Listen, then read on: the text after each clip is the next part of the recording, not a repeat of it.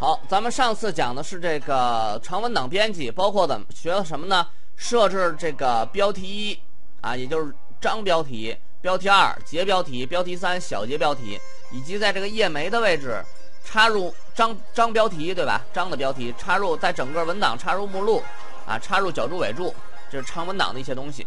那么这次讲什么呢？这次讲这个东西多级目录。咱们说这个标题一、标题二说的是什么呢？说的是这个。这个级次啊，章的是大纲级别是一，节的大纲级别是二。那么这个多级是什么意思呀？不但说出级次，还说出次序。次序，你是第一几章？你是第一章？你是第二章？你是第三章？你是第四章？那么这个也能自动出来吗？哎，能，而且还还会给咱们带来很大方便。好，咱们看一下，这有这么一个文档，对吧？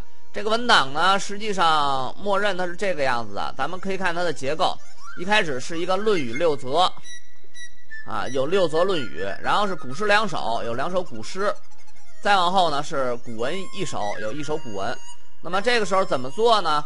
哎，首先咱们呀，先对这个这个 Word 进行一下装修。你可以看到，默认的情况下，我如果点这个样式的话。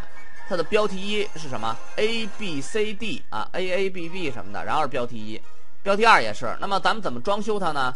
哎，咱们让它标题一出现第一章，怎么弄？定义新的多级列表。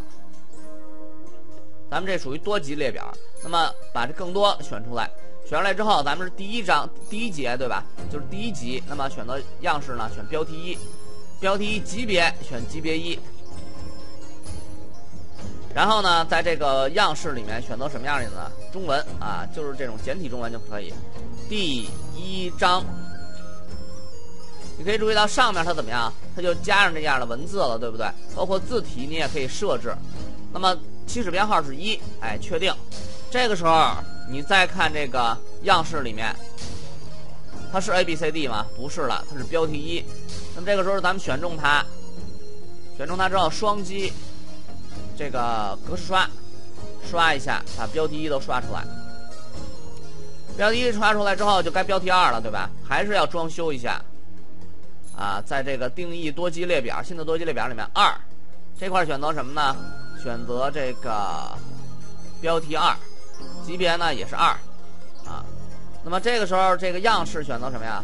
选择还是选择这种。字呢选择节，啊节第几节？再一确定。这个时候再刷一下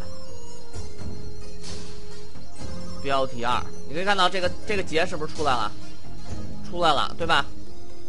哎，刷啊，双击对吧？双击，双击，双击，然后这块就不是双，就是在最开始的时候那块是双击。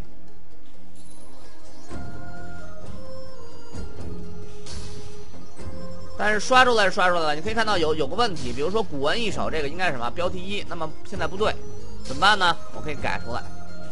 那么这个文档它的结构在哪儿看呀？实际视图里面有这么一个东西，叫文档结构图，啊，不是缩略图啊，是这个视图里面有一个东西叫做文档结构图。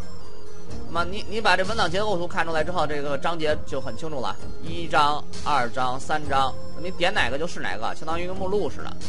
这目录是不是也就这么生成的？这时候生成目录会不会带这个第一章之类的呀？那咱们看一下，啊，插入一个目录，插入一个目录，哎，目录再一确定，哎，你看到这个目录是不是也带这个呀？那么这种东西有什么好处呢？为什么我为什么我要这么做呢？哎，那么咱们看一下这个大纲视图。大纲视图，在大纲视图里面，你可以看到这个上面是目录是吧？目录现在先可以删掉。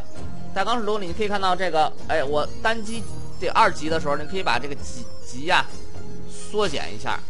那么这个时候，如果说我有个变化，比如说我现在的第第。二章变成第三章，第三章变成第二章，成不成啊？成不成呢？哎，你可以选中它。你注意一定要全选中啊！如果你只选中这个，就只选中标题，全选中才可以。或者你把它就缩缩成这么小，哎，全选中，Ctrl X，然后呢回车，回车。如果在这个位置你粘贴的话，是相当于把它从来刚才的第二章变成现在的二点二节了，对不对？那么你这时候需要怎么办呢？哎，你可以把它变成一级，那么是不是就第三张啊？第三章古诗两首，啊，你可以看到这两首古诗是不是过来了？哎，就这么简单。那么这个点儿实际代表什么呢？代表段落标记，对吧？段落标记。那么这个时候，你如果说我要把这一节变到第一章里面，成不成？那你就 Ctrl X 这一节，这第四章实际没有的是吧？那么你把这一节变到第一章里面，行不行？哎，一回车。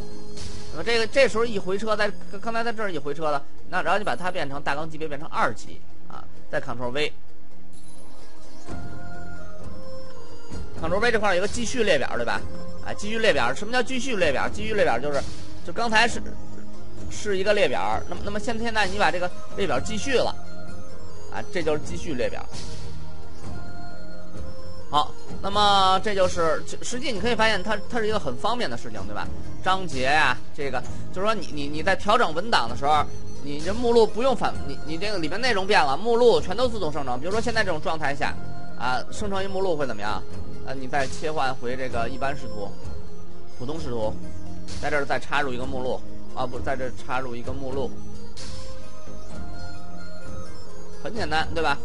那么这个时候这个目录是怎么样的？这个目录是不是是不是就按你你新的这个这个这个目录结构来做了？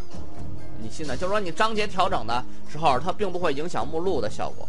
好，这次讲的主要就是什么呢？就是这个多级目录，包括升级降级啊、调换次序啊，还有一个东西图表目录，咱们下讲再讲。谢谢大家，再见。